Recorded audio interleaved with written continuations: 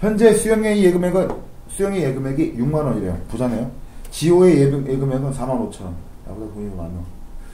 두 사람이 매달 6천 원씩 찾아 쓸 때, 써, 찾아 쓸 때다. 입금이 아니라 이거, 그치? 쎄 쓰는 거도 빼야 되겠다, 그치? 수영의 예금액이 지호 예금액이 두 배가 되는 것. 아, 이런 게 바로 식세우는 힌트가 되겠죠. 매달 6천 원씩 몇 개월 후인가? 미지수부터 설정해 봐야 되겠네. 미지수 뭐부터 설정할까? 미지수가 뭘까요? 매달 그 6개월. 몇 개월 이게 미지수가 되겠지. 이게 미지수. 됐어요? 맞아요? 그러면 한 달, 한달 동안 찾아 쓴 금액은 6천 원. 두 달 동안 찾아 쓴 금액은 12,000원. X달 동안 찾아 쓴 금액은 6천 XY. 근데 찾아 쓰는 거니까 어떻게? 각각의 금액에서 어떻게 빼줘야 되겠지? 맞아요? 그러면 X달 후에 여기다 쓸게요. X달 후의 수영이의 금액. X달 후의 누구냐? 지호? 지호의 금액. 땅땅 땅땅. X달 후의 수영이의 금액은 6만 원에서 빠지는 거지. 얼마가?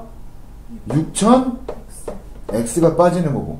X달 후에 지호의 금액은 4만 5천 원에서 어떻게? 빠지는 거지. 얼마? 6천 X가. 근데 문제에서 물어보는 건 뭡니까? 그 이런 걸 너희들이 작성을 하는 거야. 소설력에 이런 거 딱 써줘봐. 진짜. 야, 얘는 수학 공부 제대로 했구나. 어? 이거 도대체 누구한테 수학 공부 배운 거냐? 뭐라고 얘기해야 돼? 해먹은 거였어. 응? 자, 수영이의 예금액 2! 수영이의 예금액 2! 라고 했어요. 스타트, 시작! 6만, 빼기 6만 X? 아니, 6만 X란다. 6만 마이너스? 6만 마이너스 6천 X는 4만 맞죠? 지호의 예금액이 지호의 예금액이 뭐야? 4만 5천 4만 5천 빼기 빼기 6천 X에 이거에 이거에 곱하기 2 이렇게 딱 쓰면 돼야 안 돼? 근데 안 되죠? 가르치고 그렇지. 두 배가 돼. 맞아요? 됐어요? 자, 에? 요거 이제 여기다 좀 풀어볼게요.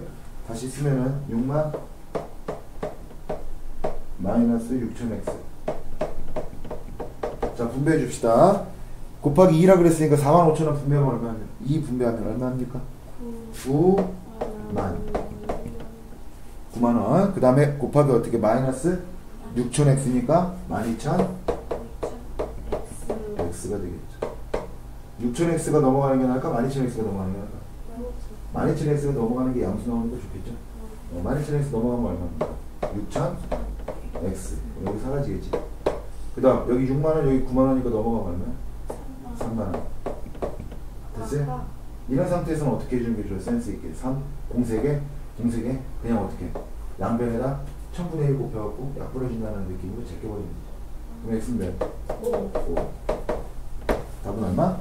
2번. 됐어요? 네.